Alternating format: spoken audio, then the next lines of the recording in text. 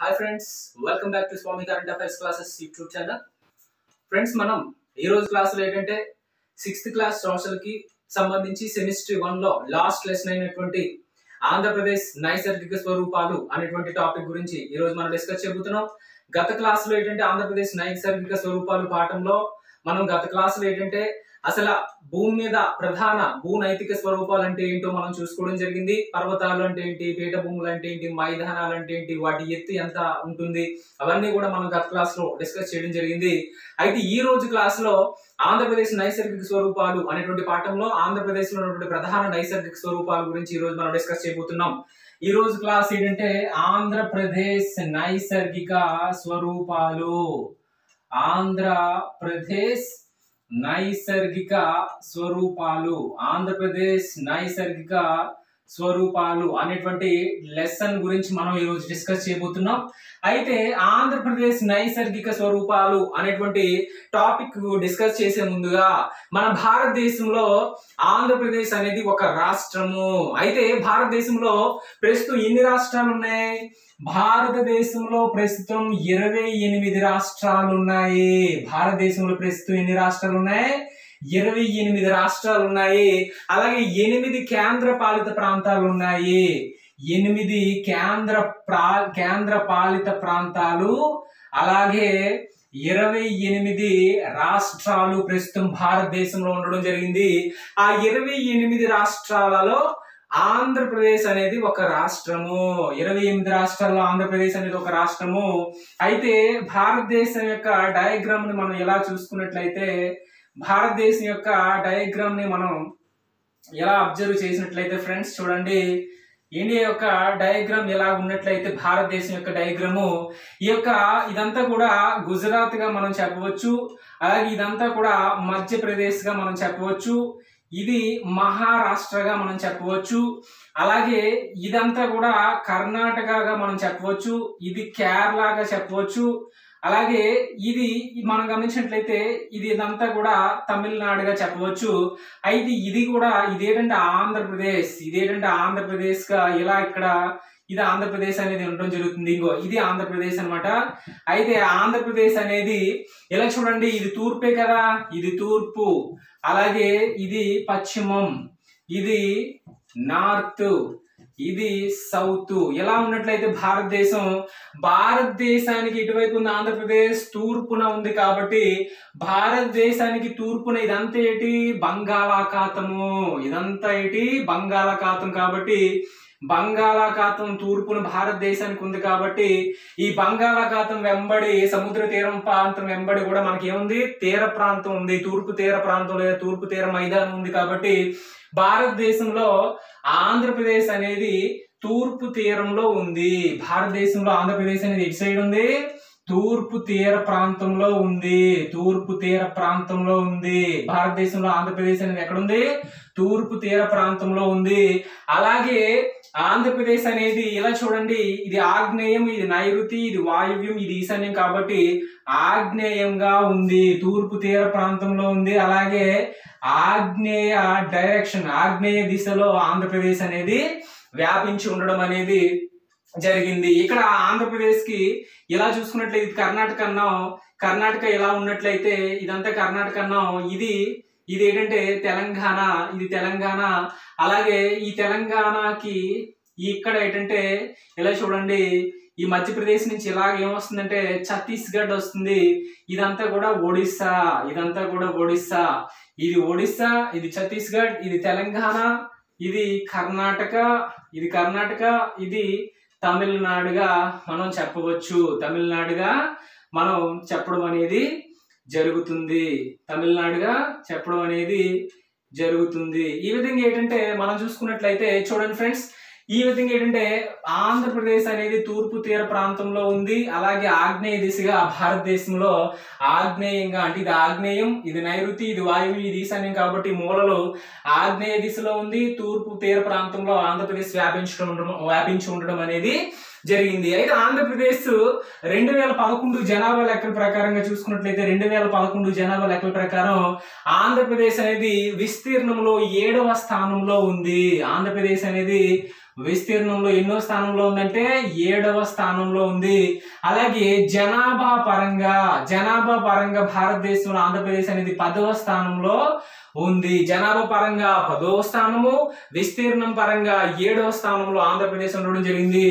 రెండు వేల పదకొండు జనాభా లెక్కల ప్రకారంగా ఆంధ్రప్రదేశ్ యొక్క రెండు వేల పదకొండు ప్రకారం చూసుకుంటే ఆంధ్రప్రదేశ్ యొక్క తీర ప్రాంత పొడవు ఎంతంటే తొమ్మిది వందల డెబ్బై రెండు కిలోమీటర్లు ఆంధ్రప్రదేశ్ యొక్క తీర ప్రాంతం పొడవు. అంటే ఆంధ్రప్రదేశ్ అనేది బంగాళాఖాతానికి ఆనుకుని ఉందన్నాం కాబట్టి ఆంధ్రప్రదేశ్లోని కొన్ని జిల్లాలు ఏంటంటే తీర ప్రాంతానికి ఆనుకుని ఉన్నాయి. ఆ తీర ప్రాంతం పొడవు ఎంతంటే తొమ్మిది వందల డెబ్బై రెండు కిలో కిలోమీటర్లు. ఆంధ్రప్రదేశ్లోని తీర ప్రాంత పొడవు ఎంత? తొమ్మిది వందల డెబ్బై రెండు కిలోమీటర్లు. రెండు వేల పదకొండు జనాభా లెక్కల ప్రకారంగా ఆంధ్రప్రదేశ్ అనేది ఎన్నో ఆ జనాభాలో ఎన్నో స్థానంలో ఉందంటే పదవ స్థానంలో ఉంది. విస్తీర్ణం పరంగా ఏడవ స్థానంలో ఉండడం అనేది జరిగింది. అయితే ఆంధ్రప్రదేశ్కి సంబంధించి మనం చూసుకున్నట్లయితే ఇలా చూడండి ఈజీగా ఆంధ్రప్రదేశ్ యొక్క సరిహద్దులు ఆంధ్రప్రదేశ్ యొక్క సరిహద్దులను మనం గమనించినట్లయితే ఆంధ్రప్రదేశ్ సరిహద్దులు గమనించినట్లయితే కోడ్ ఏంటంటే సింపుల్గా కోడ్ ఆంధ్రప్రదేశ్ సరిహద్దుల కోడ్ ఏంటంటే ఓ తమ్మి కర్ర తెచ్చావా? ఓ తమ్మి ఓ తమ్మి కర్ర తెచ్చావా? కర్ర తెచ్చావా? ఓ తమ్మి కర్ర తెచ్చావా? అనేది కోడు. ఆంధ్రప్రదేశ్ అనేది ఇలా చూడండి ఓ తమ్మి అంటే ఓ అంటే ఒడిస్సా తా అంటే తమిళనాడు తా అంటే తమిళనాడు అదే తమ్మి అంటే కర్ర అంటే కర్ణాటక కర్ర అంటే కర్ణాటక తే అంటే తెలంగాణ తే అంటే తెలంగాణ చా అంటే ఛత్తీస్గఢ్ చా అంటే ఛత్తీస్గఢ్ చా అంటే ఛత్తీస్గఢ్. ఈ విధంగా ఆంధ్రప్రదేశ్ ఐదు రాష్ట్రాలతో సరిహద్దును పంచుకుంటుంది. అయితే ఒడిస్సా అనేది ఇలా చూడండి? ఆంధ్రప్రదేశ్కి ఒడిస్సా ఎక్కడుంది? ఉత్తరంగా ఉంది కాబట్టి ఒడిస్సా అనేది ఉత్తరంగా ఉంది. అలాగే ఇక్కడ ఒడిస్సా పక్కనే ఛత్తీస్గఢ్ కూడా ఇక్కడ ఉంది కాబట్టి అది కూడా ఛత్తీస్గఢ్ కూడా ఉత్తరంగానే ఉంది. ఛత్తీస్గఢ్ కూడా ఏంటంటే ఉత్తర దిశలోనే ఉంది. ఉత్తరంగా ఏంటంటే ఇలా చూడండి డయాగ్రామ్ వేశాను. ఆంధ్రప్రదేశ్కి పైన ఏంటంటే ఉత్తరంగా ఒడిస్సా ఉంది ఇక్కడ ఛత్తీస్గఢ్ ఉంది. రెండు కూడా ఉన్నాయని నేను చెప్పడం జరిగింది. ఇగో ఎలా చూడండి? ఒడిస్సా ఆంధ్రప్రదేశ్తో సరిహద్దు పంచుకుంటుంది. అలాగే ఛత్తీస్గఢ్ కూడా పంచుకుంటుంది. అని మీకు చెప్పడం జరిగింది. అయితే తెలంగాణ అనేది ఎలా చూడండి? తెలంగాణ అనేది ఇటు సైడ్ పశ్చిమంగా ఉంది కాబట్టి తెలంగాణ అనేది పశ్చిమంగా ఉంది. పశ్చిమంగా ఉంది. తెలంగాణ పశ్చిమంగా ఉంది. కర్ణాటక అనేది నైరుతి దిశలో ఉంది. కర్ణాటక అనేది నైరుతి దిశలో ఉంది. తమిళనాడు అనేది ఎక్కడ ఉంది? ఆంధ్రప్రదేశ్ దక్షిణంగా ఉంది. తమిళనాడు అనేది దక్షిణంగా ఉంది. మరి తూర్పున ఏముంది? ఇదంతా బంగాళాఖాతం. కాబట్టి తూర్పున బంగాళాఖాతం ఉండడం జరిగింది.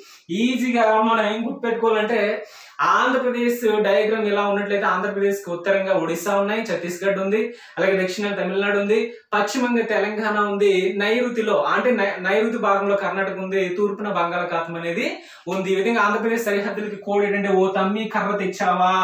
అంటే ఐదు రాష్ట్రాలకు సంబంధించి ఈజీగా ఓ తమ్మి కర్ర తెచ్చావాలో ఐదు రాష్ట్రాలు ఈజీగా మనకు రావడం అనేది జరిగింది. అయితే ఆంధ్రప్రదేశ్ని ప్రధానంగా రెండు భాగాలుగా చెప్పవచ్చు. ఆంధ్రప్రదేశ్ అనేది ప్రధానంగా రెండు భాగాలుగా ఉంది. అదేంటంటే కోస్తాంధ్ర రెండు భాగాలుగా ఉంది. కోస్తాంధ్ర ప్రాంతం. సెకండ్ ఏంటంటే రాయలసీమ ప్రాంతం. కోస్తాంధ్ర ప్రాంతం రాయలసీమ ప్రాంతం. అయితే ఆంధ్రప్రదేశ్ డయాగ్రామ్ మనం చూసుకున్నట్లయితే ఇది ఇండియా డయాగ్రామ్. దీన్ని మనం చూసాం ఇప్పటి వరకు ఆంధ్రప్రదేశ్ డయాగ్రామ్ మనం అబ్జర్వ్ చేసినట్లయితే ఆంధ్రప్రదేశ్ డయాగ్రామ్ అబ్జర్వ్ చేసినట్లయితే ఆంధ్రప్రదేశ్ అనేది ఇలాగా ఆంధ్రప్రదేశ్ అనేది ఇలా ఉన్నట్లయితే చూడండి ఆంధ్రప్రదేశ్ అనేది ఇలా ఉన్నట్లయితే ఇక్కడ నుంచి ఇలాగా ఒక అంటే మొత్తం జిల్లాలు ఇలా రావడం జరుగుతుంది. ఇలా వస్తే అయితే చూడండి ఇప్పుడు ఏంటంటే మామూలుగా ఆంధ్రప్రదేశ్ ఇలా ఉన్నట్లయితే ఆంధ్రప్రదేశ్లోని ఇలాగా వచ్చినప్పుడు ఆంధ్రప్రదేశ్కి ఉత్తరంగా ఉన్న జిల్లాలు ఉత్తరంగా ఉన్న జిల్లాలు కోస్తా ఆంధ్ర అంటే ఆంధ్రప్రదేశ్కి ఉత్తరంగా ఉన్నటువంటి ఇలా చూడండి ఆంధ్రప్రదేశ్కి ఉత్తరంగా ఉన్నటువంటి ఉత్తరంగా ఉన్నటువంటి జిల్లాల్లో ఏంటంటే కోస్తాంధ్ర అనుభవసరికి తొమ్మిది జిల్లాలు కోస్తాంధ్ర అనుభవసరికి తొమ్మిది జిల్లాలు రాయలసీమ అనుభవసరికి నాలుగు జిల్లాలు మనకు గుర్తు రావడం జరుగుతుంది. కోస్తాంధ్ర అంటే ఏంటంటే ఈజీగా మనం చెప్పవచ్చు. ఆంధ్రప్రదేశ్కి ఉత్తరంగా ఉన్నటువంటి మొత్తం తొమ్మిది జిల్లాలనే కోస్తాంధ్ర జిల్లాలు అంటారు. ఆ కోస్తాంధ్ర జిల్లాలకి కోడ్ ఏంటంటే చూడండి శ్రీ వివి శ్రీ వివి తూగో పాగో శ్రీ వివి తూగో పాగో గుమ్ తూగో పాగో గుంటు తూగో పాగో గుంటు శ్రీ తూగో పాగు గుంటు కృపనే కృపా నే కృపనే. చూసుకోండి శ్రీదేవి తూగో పాగో గుంటు కృపనే. అంటే శ్రీ అంటే శ్రీకాకుళం శ్రీ అంటే శ్రీకాకుళం వి అంటే విజయనగరం మళ్ళీ ఇంకో వి అంటే విశాఖపట్నం తూగు అంటే తూర్పు గోదావరి పాగు అంటే పశ్చిమ గోదావరి గుంటూ అంటే గుంటూరు క్రూ అంటే కృష్ణ పా అంటే ప్రకాశం నే అంటే నెల్లూరు. ఈ విధంగా తొమ్మిది జిల్లాలు కూడా మనకి ఈజీగా కోడ్ రూపంలో శ్రీవివి తూగో పాగో గుంటూ కృపనే. తూగో పాగో గుంటూ కృపనే తొమ్మిది జిల్లాలు వస్తాయి. ఈ తొమ్మిది జిల్లాలని కూడా మనం ఏమంటామంటే కోస్తాంధ్ర జిల్లాలు ఆంధ్రప్రదేశ్లో ఉన్నటువంటి కోస్తాంధ్ర జిల్లాలుగా చెప్పవచ్చు. ఈ కోస్తాంధ్ర జిల్లాలు ఏంటంటే భారతదేశ ఆంధ్రప్రదేశ్కి తీర ప్రాంతం ఉందన్నాం కదా. తీర ప్రాంతం అంటే బంగాళాఖాతం వెంబడి ఉన్నటువంటి జిల్లాలు ఈ తొమ్మిది కూడా. అందువల్ల ఈ తొమ్మిది జిల్లాలు ఏంటంటే కోస్తాంధ్ర జిల్లాలు అంటారు. అంటే తీర ప్రాంతానికి ఆనుకొని ఉన్న తొమ్మిది జిల్లాలను కోస్తాంధ్ర జిల్లాలుగా పిలవడం జరుగుతుంది. ఆంధ్రప్రదేశ్లోని తీర ప్రాంతానికి అంటే బంగాళాఖాతానికి ఆనుకుని ఉన్నటువంటి తొమ్మిది జిల్లాలను కోస్తాంధ్ర జిల్లాలు అంటారు. ఆ తొమ్మిది జిల్లాలు కూడా ఇగో మనం చెప్పుకున్నాం. ఈ తొమ్మిది అన్నమాట.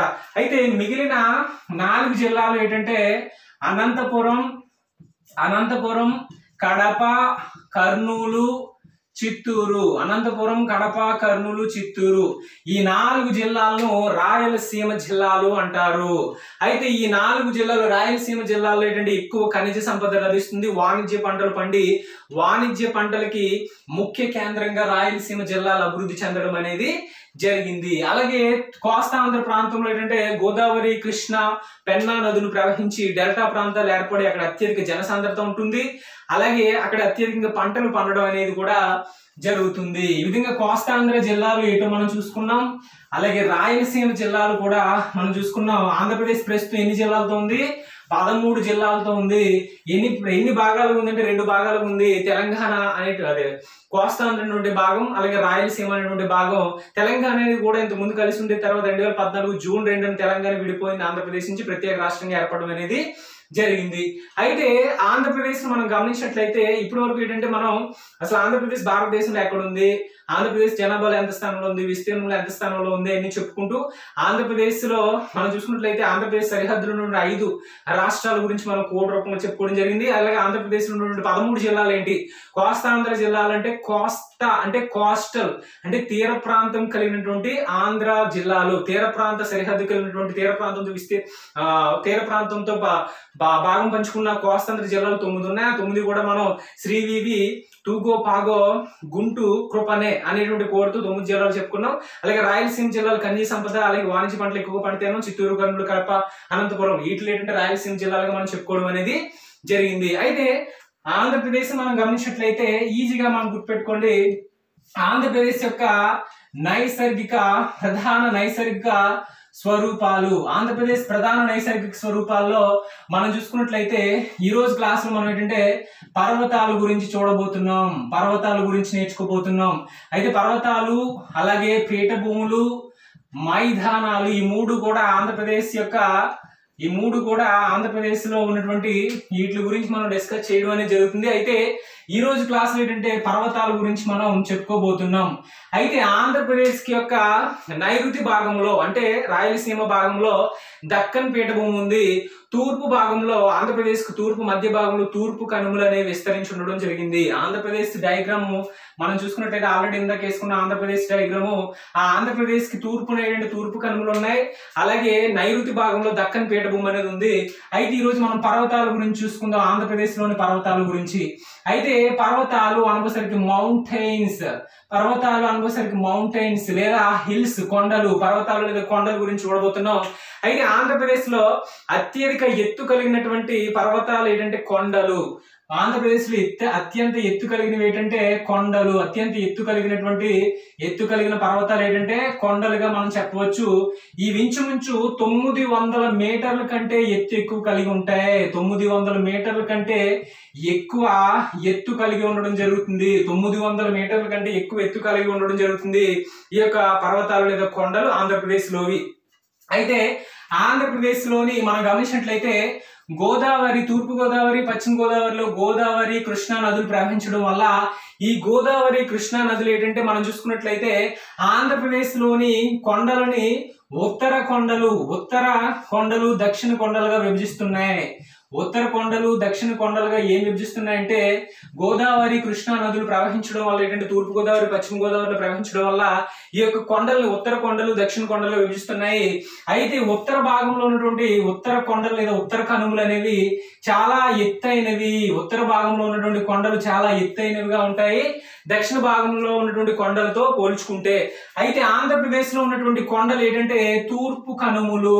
ఆంధ్రప్రదేశ్లో ఉన్నటువంటి కొండల పేరు ఏంటంటే తూర్పు కనుమలు ఈ తూర్పు కనుమలు ఏ జిల్లాలో వ్యాపించి ఉన్నాయంటే విశాఖపట్నం విజయనగరం విశాఖపట్నం విజయనగరం తూర్పు గోదావరి పశ్చిమ గోదావరి విశాఖపట్నం విజయనగరం తూర్పు గోదావరి పశ్చిమ గోదావరి అలాగే చిత్తూరు చిత్తూరు కడప కర్నూలు.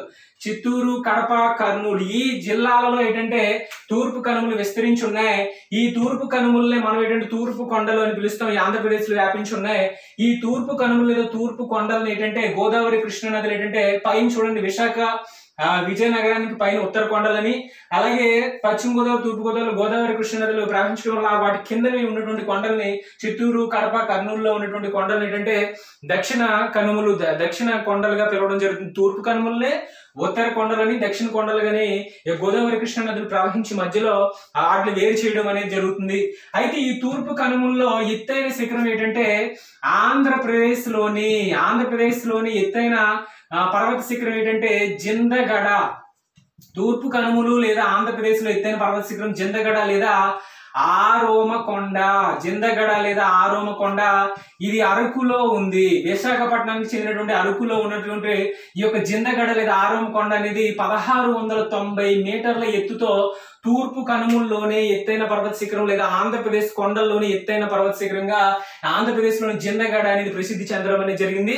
అయితే ఉత్తర కొండలు అంటే ఉత్తరంగా ఉన్నటువంటి కొండలు ఎత్తైన వర్ణం కాబట్టి ఈ మినిమం పన్నెండు వందల మీటర్ల సగటు ఎత్తు కలిగి ఉన్నటువంటి విధంగా ఉన్నాయి ఉత్తర కొండలు అనేవి. సగటు ఎత్తు అంటే తొమ్మిది వందల మీటర్లు. కానీ ఆంధ్రప్రదేశ్లో ఉత్తర భాగంలో ఉన్నటువంటి విజయ విశాఖపట్నంలో ఉత్తరంగా విశాఖపట్నం లేదా విశాఖపట్నం నుండి జిందగడ మీద ఆరమకొండ అనేది పదహారు వందల తొంభై మీటర్ల ఎత్తుతో ఏంటంటే ఎత్తైన పర్వత శిఖరంగా తూర్పు కనుమల్లో ప్రసిద్ధి చెందడం అనేది జరిగింది. ఈ విధంగా ఏంటంటే పర్వతాలకు సంబంధించి మనం క్లియర్గా చెప్పుకోవడం అనేది జరిగింది.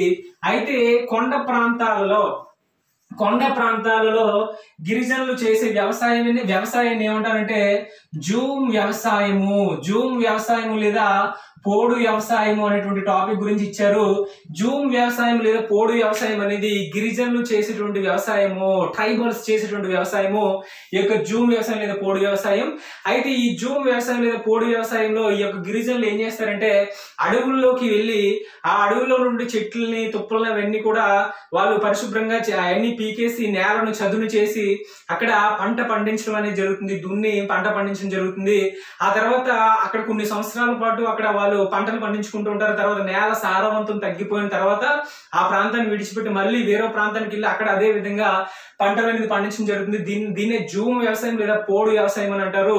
అయితే ఈ యొక్క జూమ్ వ్యవసాయం లేదా పోడు వ్యవసాయం ద్వారా ఏ పంటలు పండుతారు పండిస్తారంటే జొన్న మొక్కజొన్న. జొన్న మొక్కజొన్న అనేటువంటి పంటలను ఏంటంటే జూమ్ వ్యవసాయం లేదా పోడు వ్యవసాయం ద్వారా గిరిజనులు పండించడం జరుగుతుంది. వీళ్ళు ఏంటంటే అడవుల్లో నేలను చదును చేసి అక్కడ ఏంటంటే దున్ని ఏంటంటే పంటలు ఈ పంటలను పండించడం అనేది జరుగుతుంది అడవుల్లో. ఈ విధంగా జూమ్ వ్యవసాయం లేదా పోడు వ్యవసాయం అనేది చేయబడుతుంది.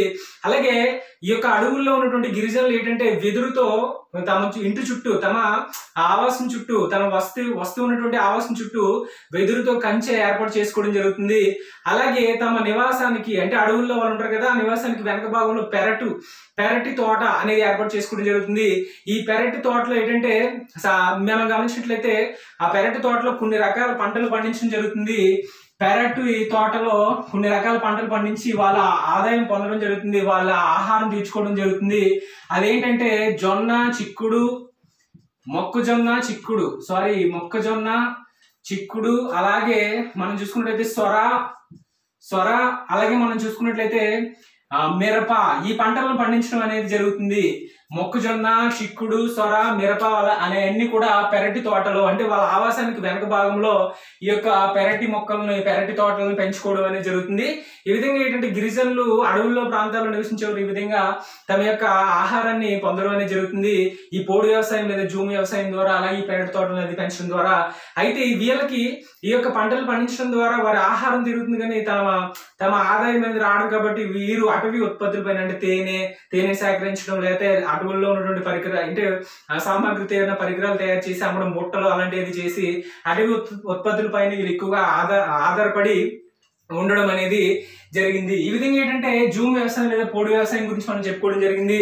అలాగే గిరిజన ప్రాంతాల్లో కొండ ప్రాంతాల్లో ఏంటంటే నీరు అనేది కొండ పై భాగం నుంచి కిందకి అనేది ప్రవహించడం జరుగుతుంది కాబట్టి నీరు ఒక చోట నిల్వ ఉండదు కాబట్టి వాళ్ళు ఏంటంటే నీరు నిల్వ ఉండదు కాబట్టి అక్కడ నీరు నిల్వ ఉండని ప్రాంతాల్లో కొండ ప్రాంతాల్లో అది రాతి పొరతో కూడినటువంటి ఎర్ర నేలలు కాబట్టి రాతి పొరతో కూడిన ఎర్ర నేలలు కాబట్టి కొండ ప్రాంతాలన్నీ కూడా అక్కడ కాఫీ టీ కాఫీ టీ అనేటువంటి పంటల్ని పండించడం జరుగుతుంది. కాఫీ టీ అనే పంటలు ఏంటంటే నీరు నిల్వ ఉండడం చోట ఏంటంటే ఈ కాఫీ టీ పంటలని పండితే అడవి ప్రాంతాల్లో అంటే నీరు నిల్వ ఉండని రాతి రాతి ఎర్ర నేలల్లో ఈ కాఫీ టీ పంటలని పండించడం అనేది జరుగుతుంది గిరిజనులు అడవి ప్రాంతాల్లో ఉన్నటువంటి ప్రాంతాల్లో ఉన్నటువంటి వాళ్ళు. అయితే ఆంధ్రప్రదేశ్లో ఉన్నటువంటి కొండలకు సంబంధించి మనం గత క్లాస్లో కోర్స్తో చెప్పేసుకున్నాం.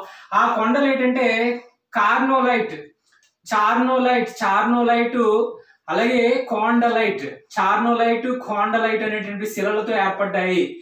ఆంధ్రప్రదేశ్లో ఉన్నటువంటి కొండలన్నీ కూడా చార్నోలైట్ కోండలైట్ అనే శిలలతో ఏర్పడ్డాయి. అలాగే ఆంధ్రప్రదేశ్లోని విశాఖపట్నానికి చెందినటువంటి అరకులోయ అలాగే బొర్రా గుహలు అనేవి పర్యాటక ప్రాంతాలకు ఉపయోగపడుతున్నాయి. అరకులోయ బొర్రా గుహలు విశాఖపట్నానికి పర్యాటక ప్రాంతాలకు ఉపయోగపడుతున్నాయి. అలాగే తూర్పుగోదావరి పశ్చిమ గోదావరిలో పాపి కొండలు ఎక్కువ పర్యాటక ప్రాంతానికి ఎక్కువగా ఉపయోగపడడం జరుగుతుంది. అలాగే ఆంధ్రప్రదేశ్లోని ఆ శీతాకాలంలో చలికాలంలో అత్యల్ప ఉష్ణోగ్రత నమోదయ్యేటువంటి లంబసింగి అనేటువంటి ప్రాంతాన్ని ఆంధ్ర కాశ్మీర్గా పిలవడం జరుగుతుంది. లంబసింగి అనేటువంటి ప్రాంతాన్ని ఆంధ్ర కాశ్మీర్గా పిలవడం జరుగుతుంది. కారణం ఏంటంటే ఈ యొక్క లంబసింగిలో విశాఖపట్నంలో నుండి లంబసింగిలో ఉష్ణోగ్రత అనేది శీతాకాలంలో చాలా తక్కువగా ఉంటుంది కాబట్టి దీన్ని ఆంధ్ర కాశ్మీర్గా పిలవడం అనేది జరుగుతుంది. అలాగే గిరిజనులు మరి ఈ విధంగా నివసిస్తున్నారు కదా ఈ ఇలాంటి నివసించేటువంటి గిరిజనులకి ఒక తెగ అనేది ఎగ్జాంపుల్గా ఉంది. ఆ తెగనే మనం చెంచులు అంటారు. గిరిజనులకి ఎగ్జాంపుల్గా మన టెక్స్ట్ బుక్లో ఎవరి గురించి ఇచ్చాడంటే చెంచులు గురించి ఇవ్వడం జరిగింది. ఈ యొక్క చెంచులు ఏంటంటే చెంచులు. ఈ యొక్క చెంచులు ఏంటంటే నల్లమల అడవుల్లో నివసిస్తున్నారు నల్లమల్ల అడవుల్లో నివసిస్తున్నారు. ఏంటంటే వీరి గిరి హానికర గిరిజన తెగగా భారత ప్రభుత్వం ప్రకటించింది. హానికర గిరిజన తెగగా ప్రకటించింది. వీరేంటంటే ప్రాచీన వ్యవసాయ పద్ధతుల్ని ఫాలో అవుతున్నారు. అయితే వీళ్ళని స్థిర వ్యవసాయం చేసే విధంగా వివిధ వివిధ కార్యక్రమాలు భారత ప్రభుత్వం చేపడుతుంది. అలాగే ఈ యొక్క గిరిజనుల్లో ఏంటంటే విద్యా వ్యాప్తికి పాఠశాలలు పాఠశాలల నిర్మాణం అది చేపడుతుంది. విద్యా వ్యాప్తికి పాఠశాల నిర్మాణం చేపడుతుంది. అయితే ఈ యొక్క ఈ యొక్క గిరిజనులకు సంబంధించి పంతొమ్మిది వందల పంతొమ్మిది వందల ఎనభై తొమ్మిదిలో పంతొమ్మిది వందల ఎనభై తొమ్మిదిలో వీళ్ళ కోసం ఏంటంటే ఇంటిగ్రేటెడ్ ఇంటిగ్రేటెడ్ గిరిజన సహకార సంస్థ ఇంటిగ్రేటెడ్ ఇంటిగ్రేటెడ్ గిరిజన అభివృద్ధి సంస్థ అనేటువంటి ఆ సంస్థను ఏర్పాటు చేయడం జరిగింది. గిరిజన అభివృద్ధి సంస్థ అనేటువంటి ఒక అభివృద్ధి గిరిజన అభివృద్ధి కార్యాలయం ప్రధాన కార్యాలయం ఎక్కడ ఏర్పాటు చేశారంటే శ్రీశైలంలో ఏర్పాటు చేశారు. అంటే గిరిజనులకు సంబంధించి ఈ చెంచులకు సంబంధించి ఏంటంటే వాళ్ళలో ఉన్నటువంటి అంటే వారిలో స్వయం సమృద్ధి సాధించడానికి సహకార భావాన్ని పెంపొందించడానికి వారిలో అభివృద్ధి సాధించడం కోసం పంతొమ్మిది ఎనభై తొమ్మిదిలో ఇంటిగ్రేటెడ్ గిరిజన అభివృద్ధి సహకార సంస్థ ప్రధాన కార్యాలయాన్ని శ్రీకాకుళంలో శ్రీశైలంలో ఏర్పాటు చేయడం జరిగింది. అలాగే వీళ్ళలో ఏంటంటే వీళ్ళ యొక్క ఆచార సంప్రదాయాలు ఏ విధంగా ఉంటాయి వీళ్ళ యొక్క ఆలోచనలు ఏ విధంగా ఉంటాయి అన్ని కూడా మనకి ఎవరి రచనల ద్వారా తెలుస్తుందంటే హైమన్ డార్ఫ్ హైమన్ డార్ఫ్ రచనల ద్వారా మనకి వీళ్ళ గురించి తెలియడం అనేది జరిగింది. హైమన్ డార్ఫ్ రచనల ద్వారా వీళ్ళ గురించి మనకు తెలియజేయడం అనేది జరిగింది. అలాగే ఇది ఈ విధంగా ఏంటంటే మన ఆంధ్రప్రదేశ్లో నివసిస్తున్నటువంటి చెంచులు నల్లమల్ల అడవుల్లో ఉన్నారన్నాం.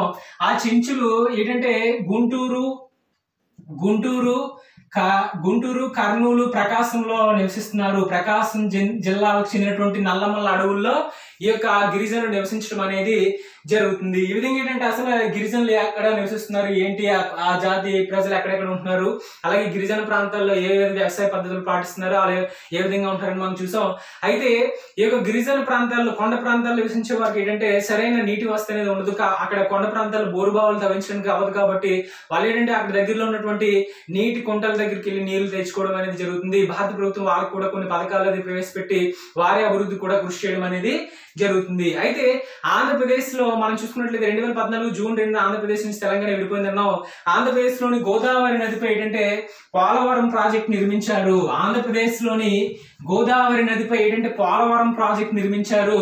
ఆ పోలవరం ప్రాజెక్ట్ అనేది ఎక్కడ ఉందంటే ఆంధ్రప్రదేశ్లోని పశ్చిమ గోదావరి జిల్లాలో ఉంది.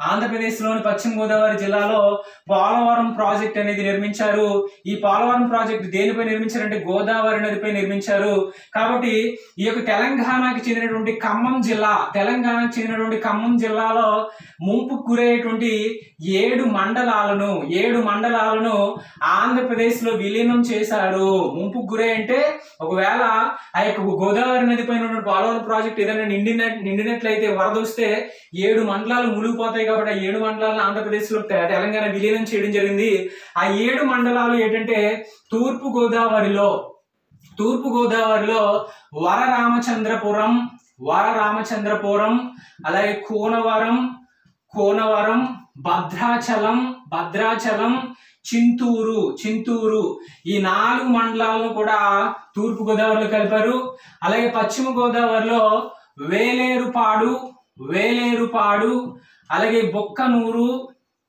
బొక్కనూరు వేలేరుపాడు బొక్కనూరు నూరు అలాగే మనం చూసినట్లయితే బూరుంపాడు బూరుంపాడు బూరుంపాడు ఈ మూడు మండలాలను కూడా పశ్చిమ గోదావరిలో విలీనం చేయడం అనేది జరిగింది. గోదావరి నదిపై నిర్మించిన పోలవరం ప్రాజెక్ట్కి సంబంధించి ముంపు గురే ఏడు మండలాలను ఆంధ్రప్రదేశ్ రాశారు ఆ ఏడు మండలాల గురించి క్లియర్ చెప్పడం జరిగింది. సో ఫ్రెండ్స్ ఇది ఈ రోజు క్లాస్ నెక్స్ట్ క్లాస్లో మిగతా లెసన్ అనేది క్లియర్గా మొత్తం కంప్లీట్ చేయడం అనేది జరుగుతుంది ఫ్రెండ్స్ ఇది ఈ రోజు క్లాస్ ఈ రోజు క్లాస్ ఏంటంటే అసలు పర్వతాలకు సంబంధించి ఆంధ్రప్రదేశ్లో ప్రధాన నైసర్గిక స్వరూపాల్లో పర్వతాలకు సంబంధించి అసలు పర్వతాలు ఆంధ్రప్రదేశ్లో పర్వతాలుగా ఉన్నటువంటి కొండలు అత్యధిక ఎత్తైనవి ఈ కొండలు సగటు ఎత్తు అంటే ఈ తొమ్మిది వందల మీటర్ల కంటే ఎక్కువ ఎత్తు ఉండడం జరుగుతుంది. అయితే ఆంధ్రప్రదేశ్లోని కొండలకు సంబంధించి మనం తూర్పు కనుమలు ఉన్నాయో తూర్పు కనుమలు ముఖ్యంగా ఆరు జిల్లాల్లో వ్యాపించి ఉన్నాయని ఆ జిల్లాల గురించి మనం క్లియర్గా చెప్పుకున్నాం. అయితే గోదావరి కృష్ణా నదులు ప్రవహించేటప్పుడు అవి తూర్పు గోదావరి పశ్చిమ గోదావరి గోదావరి కృష్ణ ప్రవహిస్తున్నాయి కాబట్టి ఆ పైన ఉన్నటువంటి తూర్పు కనుమలని ఉత్తర తూర్పు కనుమలని అలాగే దక్షిణంగా ఉన్నటువంటి తూర్పు కనుమ దక్షిణ తూర్పు కనుమలని ఉత్తర తూర్పు కనుమలు చాలా ఎత్తైనవని అందులో అవి ఏంటంటే సగటున పన్నెండు వందల మీటర్ల కంటే ఎక్కువ ఎత్తుంటున్నాయని ఆ అయితే పదహారు వందల తొంభై మీటర్లు ఎత్తైనటువంటి విశాఖపట్నం ఉన్నటువంటి జందగడ లేదా ఆరంకొండ ఎత్తు అతి ఎత్తైనదని మనం చెప్పుకోవడం జరిగింది. అలాగే గిరిజనులు చేసే జూమ్ వ్యవసాయం పొడి వ్యవసాయం గురించి అలాగే గిరిజన సహకార అభివృద్ధి సంస్థ ప్రధాన కార్యాలయం గురించి అలాగే మనం చూసుకున్నట్లయితే గిరిజనులు చే పండించినటువంటి వివిధ పంటల గురించి అవన్నీ కూడా క్లియర్గా మనం ప్రతి దాని గురించి కూడా క్లియర్గా చెప్పుకోవడం జరిగింది. నెక్స్ట్ మరో కొత్త క్లాస్ మళ్ళీ కలుసుకుందాం. Thank you very much